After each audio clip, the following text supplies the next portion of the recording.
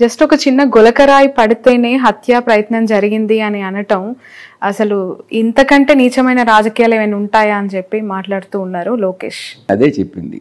చంద్రబాబు నాయుడికి గతంలో మా పార్టీ అధ్యక్షులు జగన్మోహన్ రెడ్డి గారి మీద విశాఖపట్నంలో హత్యా ప్రయత్నం జరిగింది. అతను రీసెంట్ ఐదు సంవత్సరాలు ఇంచుమించు నాలుగు నాలుగున్నర సంవత్సర కాలం పాటు జైల్లో ఉన్నాడు.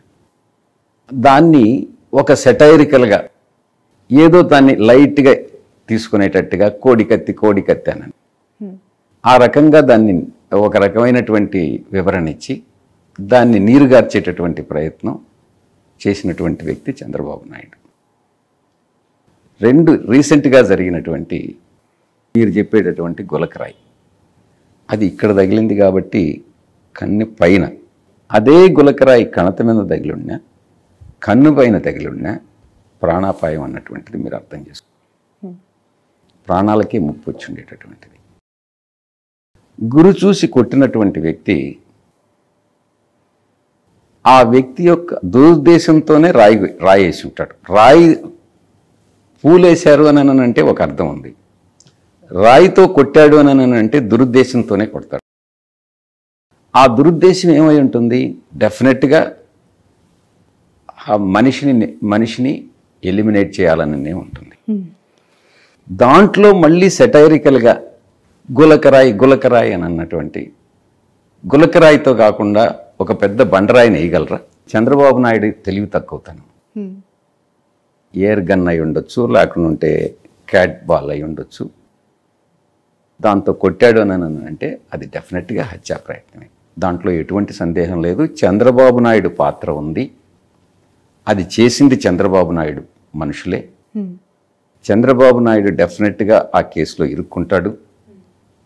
చంద్రబాబు నాయుడుకి ఆ కుట్రలన్నీ బహిర్గతం అవుతాయి దాంట్లో చంద్రబాబు నాయుడు తప్పకుండా జైలుకు పోతాడు. రైట్ సార్ రెండు వేల ఇరవై నాలుగుకి సంబంధించి ఫైనల్గా మీరు ఎంత విక్టరీ అంటే ఫిగర్ ఎక్స్పెక్ట్ చేస్తూ ఉన్నారు రాష్ట్రంలో వైసీపీ అధికారంలోకి రావటానికి?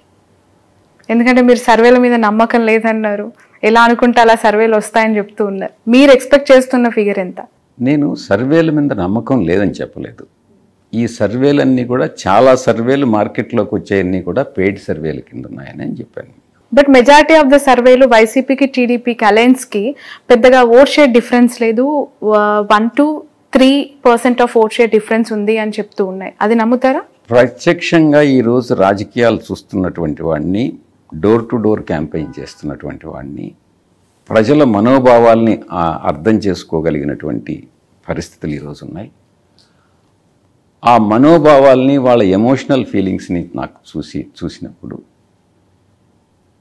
నాకున్నటువంటి ఫీలింగ్ ఏంటంటే నూటికి నూరు శాతం ఆ నాయకుడి పట్ల ఉన్నటువంటి ప్రేమ ఆదరణ స్పందన కానీ చూస్తే మా యొక్క లక్ష్యం నూట డెబ్బై ఐదుకు నూట డెబ్బై ఐదు అతిశయోక్తి కాదు అన్నటువంటిది నేను బలంగా నమ్ముతా ఉన్నా.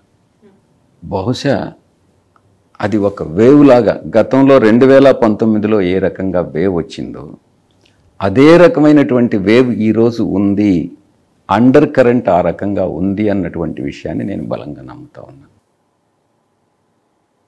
బహుశా అపోజిషన్ ప్ర- ప్రతిపక్షాలు ఇది అతిశయోక్తం చెప్పొచ్చు. వాళ్ళు అధికారంలోకి వస్తున్నామని చెప్పుకోవచ్చు. కానీ ముఖ్యంగా బడుగు బలహీన వర్గాల్లో పేదల్లో మీరు ఒక్కసారి పేదరికం అంటే మీరు చూడాలి. అటు శ్రీకాకుళం విజయనగరం సైడ్. ఈరోజు కూడా ఇప్పటికీ కూడా గత ఐదు సంవత్సరాల క్రిందటి వరకు కూడా శరీరం మీద ఆచ్ఛాదన కూడా లే లేనటువంటి కొన్ని కుటుంబాలు రిమోట్ ప్లేస్లో ఉంటాయి.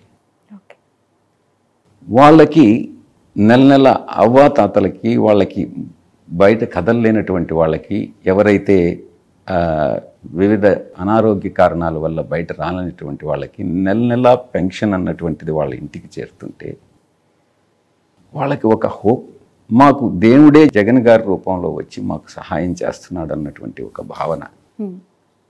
అది చూస్తుంటే నూట డెబ్బై ఐదుకు నూట డెబ్బై ఐదు అతిశయోక్తి కాదు. రైట్ రాష్ట్ర వ్యాప్తంగా బీసీలకు పెద్దపీట వేస్తున్నాం. బీసీ పార్టీ అని చెప్పి క్లెయిమ్ చేసుకుంటున్నారు కదా సార్ ఒక సింపుల్ స్ట్రైట్ క్వశ్చన్ ఇక్కడున్న బీసీ లీడర్ అనిల్ని నర్సరావుపేటకు ట్రాన్స్ఫర్ చేశారు. రెడ్డి కమ్యూనిటీ కోటాలో మీరు ఇక్కడ ఎంపీగా బరిలోకి దిగుతూ ఉన్నారు.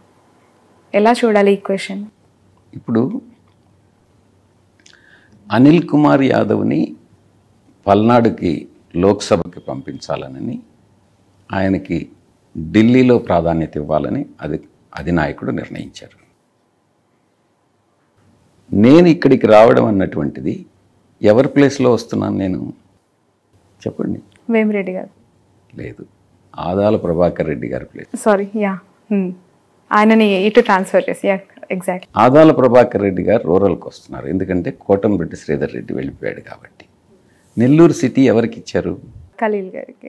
ఖలీల్ ఏ సామాజిక వర్గానికి చెందినటువంటి వాళ్ళు? Minority of course minority that too BC బీసీని తీసి బీసీకి ఇచ్చామే కానీ అనిల్ కుమార్ యాదవ్ని అంటే పంపించి ఈ జిల్లాకి సంబంధించి రెండు సార్లు ఎమ్మెల్యేగా గెలిచిన వ్యక్తి. ఇద్దరు కూడా ఈ జిల్లాకు సంబంధించినటువంటి వాళ్ళే. Hmm. నెల్లూరులో అనిల్ కుమార్ యాదవ్ని తీసేసి ప్రశాంత్ రెడ్డికి ఇవ్వలేదే?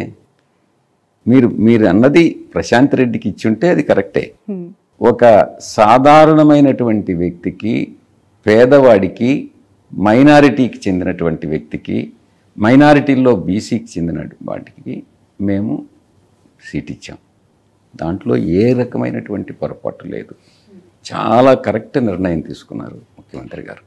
Right so wish all the best wish all the success sir Nellore బరిలో నిలిచిన మీరు విజయం సాధించాలని మనస్ఫూర్తిగా కోరుకుంటూ ఉన్నాం.